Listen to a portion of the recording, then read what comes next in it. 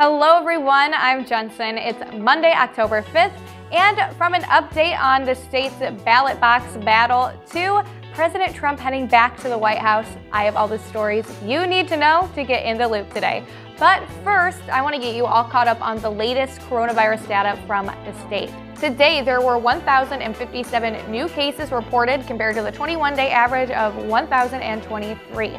There were six new deaths reported compared to the average of 24, 73 hospitalizations compared to 70, and ICU admissions stayed right on the 21 day average with 11. And after a bitter fight with state Democrats, Ohio Secretary of State Frank LaRose announced today that boards of elections could, in fact, have multiple ballot drop boxes, but they have to be at board locations. In an emailed statement, LaRose's office also said the board may station bipartisan election officials outside of county boards to accept absentee ballots. All of Ohio's counties now must accept absentee ballots 24 hours per day. People can still mail in absentee ballots or vote in person early or on election day. But this announcement doesn't exactly have Dems jumping up and down. They immediately voiced frustration that these additional boxes are limited to county BOEs, saying the appellate court held that the state law permits him to authorize more drop boxes at other locations beyond a Board of Elections office. It's unclear if anything more will be done, especially with Election Day less than a month away at this point. But LaRose said that already 2 million Ohioans have requested absentee ballots.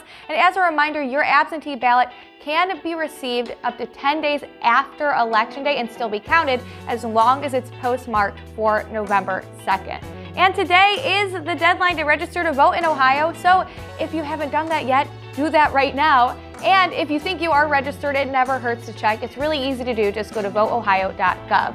And UT students, if you're already daydreaming about spring break, you might want to pump the brakes a little bit.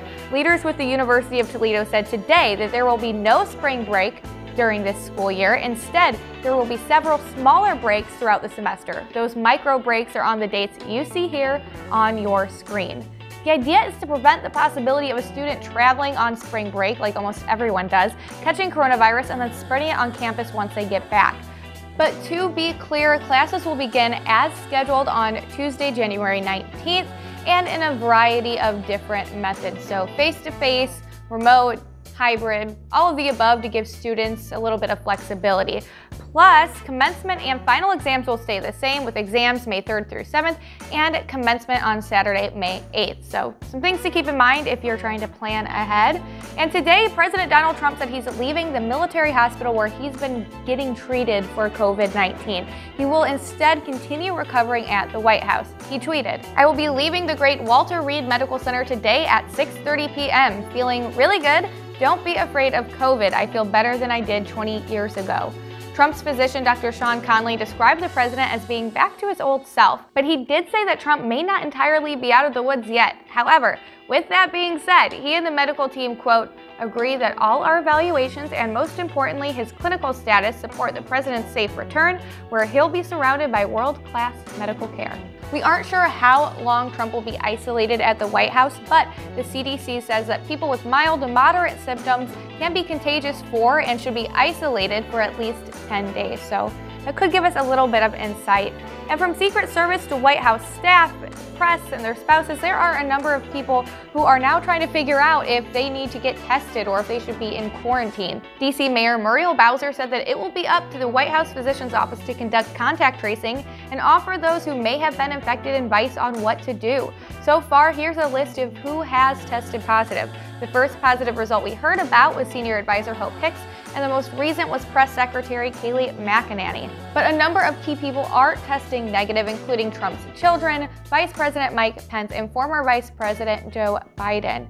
And the Supreme Court opened up its new term today with quite a jolt from two conservative justices who raised criticism of the court's embrace of same sex marriage. The justices returned from their break today, and while commenting on an appeal from a former county clerk in Kentucky who refused to issue same sex marriage licenses, Justice Clarence Thomas wrote that the 5 4 majority in a 2015 case had read a right to same sex marriage into the Constitution, even though that right is found nowhere in the text.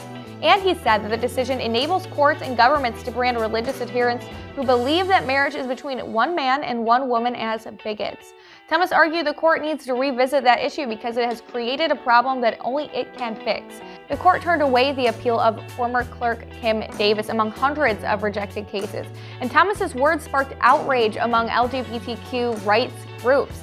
And president of the Human Rights Campaign, Alfonso David, said that both Thomas and Samuel Alito had, quote, renewed their war on LGBTQ rights and marriage equality as the direction of the court hangs in the balance. After Ginsburg's death and Justice Anthony Kennedy's retirement, only three members of the majority in the gay marriage case are still on the bench, and they are Justices Stephen Breyer, Sonia Sotomayor, and Elena Kagan. And although things have been pretty tense among supporters of the dueling political parties, two Texas neighbors are calling on people to lead with love rather than judgment. The women said that on their neighborhood Facebook page, they saw a lot of problems with people stealing signs and just a lot of bashing back and forth. So, Marnie and Tasha, who have been friends and neighbors for six years, wanted to change that narrative. They took pictures together rocking their party's political gear and posted it to that page. And even though they know they are checking different boxes, they said that they're going to ride together to the polls so they can both make sure their voices are heard. But that is all I have for you today. If you liked this video, make sure you hit that like button and subscribe to our channel. I'm Jensen, and now you are in the loop.